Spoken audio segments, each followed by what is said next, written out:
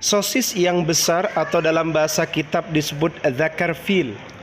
Idealnya memasuki pada apem yang besar pula.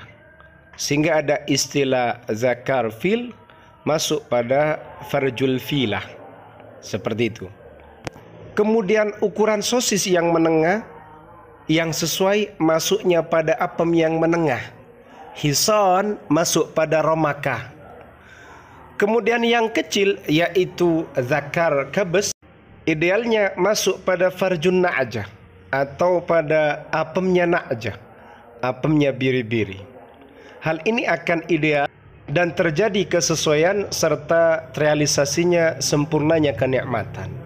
Assalamualaikum warahmatullahi taala wabarakatuh.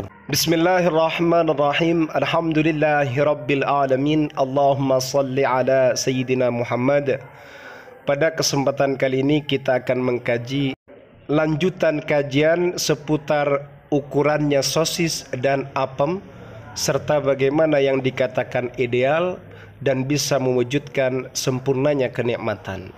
Khusus kajian ini saya langsung menerjemahkan teks Arab yang ada di depan Anda langsung memberikan pemahaman yang ada pada layar Anda. Semoga bermanfaat. Amin ya rabbal alamin. Mari kita simak. Pada kajian sebelumnya, ternyata perkakasnya para lelaki, perkakasnya para suami atau sosisnya para suami itu dibagi menjadi tiga. Kalau yang besar disebut fil, kalau yang sedengan disebut hisan, kalau yang kecil disebut kabash. Jadi ada sosis fil gajah, ada sosis kuda, ada sosis biri-biri atau kambing. Begitu juga apemnya kaum istri. Furujun nisa, apemnya kaum istri, itu juga dibagi menjadi tiga.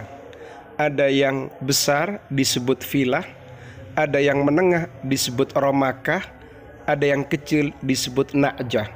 Filah berarti gajah, apem gajah. Kemudian romaka ini berarti apemnya kuda. Kemudian yang nakja apemnya biri-biri, domba atau kambing. Kemudian lanjutannya untuk menciptakan kenikmatan dalam hal itu maka juga akan diturunkan, dibagi menjadi tiga bagian. Bagian yang pertama adalah yahtamilu fihi al-muwafaqah wa kamalul ladzah yang pertama ada kemungkinan terjadi kesesuaian dan kesempurnaannya kenikmatan. Kemudian yang kedua ada kesesuaian dan juga dapat memenuhi sebagian kebutuhan. Itu yang kedua. Kemudian yang ketiga tidak ada kesesuaian dan juga tidak ditemukan kenikmatan. Bahkan yang terjadi adalah bahaya kepada pelaku dan kepada maf'ul bihnya kepada objeknya, sasarannya, atau istrinya dalam hal ini. Bagian yang pertama, apa yang dimaksud hubungan yang di situ ada kesesuaian dan terjadinya kesempurnaan kenikmatan. Hal ini terjadi jika sosis besar masuk pada apem yang besar. Sosis gajah masuk pada apem gajah. Atau sosis kuda masuk pada apem kuda. Sosis hison masuk pada farjir romaka.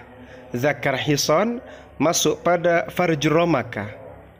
Kemudian ada juga yang bisa mencapai pada kesesuaian dan kesempurnaan kenikmatan jika yang masuk adalah zakar kabush pada farjun na'jah. Sosis domba masuk pada apem domba fatilka ghayatul muwafaqah wa kamalul ladzah. Pada posisi ini ini adalah sangat sesuai dan bisa menciptakan kesempurnaan kenikmatan.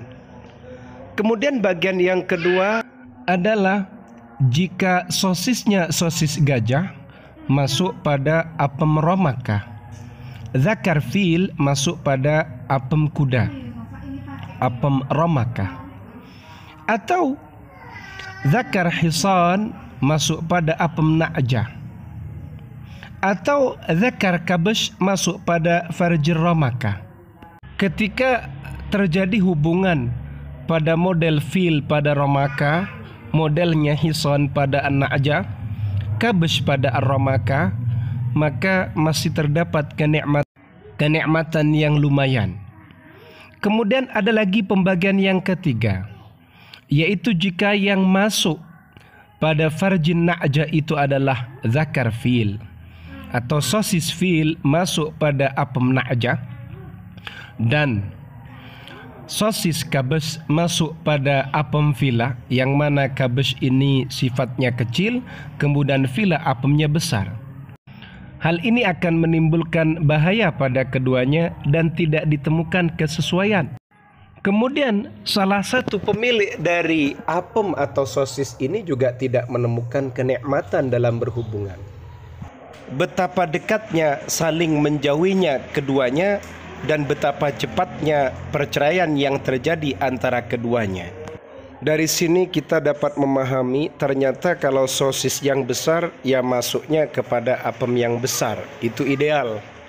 Atau sosis yang sedengan masuknya pada apem yang sedengan, yang kecil juga masuk pada yang kecil.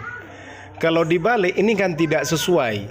Kasihan tidak mendapatkan kenikmatan dan tidak sesuai. Bahkan bisa menderita menjadikan pasangan ini saling berjauhan dan bercerai. Nauzubillah wal iyadzubillahi min dzalik. Paham ya? Ini keterangan ini berada dalam kitab Al-Iyadah. Semoga bermanfaat. Amin ya rabbal alamin. Untuk rekan-rekan yang masih baru mengkaji melalui channel Ma'had At-Tamimi, maka saya sarankan untuk membuka channel ini beserta playlistnya.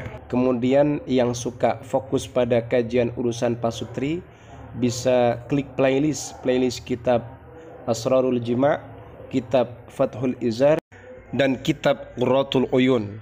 Untuk rekan-rekan yang suka mengkaji kitab tasawuf bisa membuka playlist kitab Ihya Ulumuddin. Kalau yang suka mengkaji kajian ilmu nahu dan saraf atau tata bahasa Arab bisa membuka playlist kitab Jami'ud Durus atau Nahu Dasar. Kalau suka kajian aliran Nahu, bisa juga membuka Usulun Nahwi. Di samping itu juga ada kajian-kajian tematik, kajian hadis, kajian kitab Ibanatul Ahkam, serta kajian kitab Risalatu Ahli Sunnah wal Jamaah. Semoga bermanfaat. Amin ya rabbal alamin.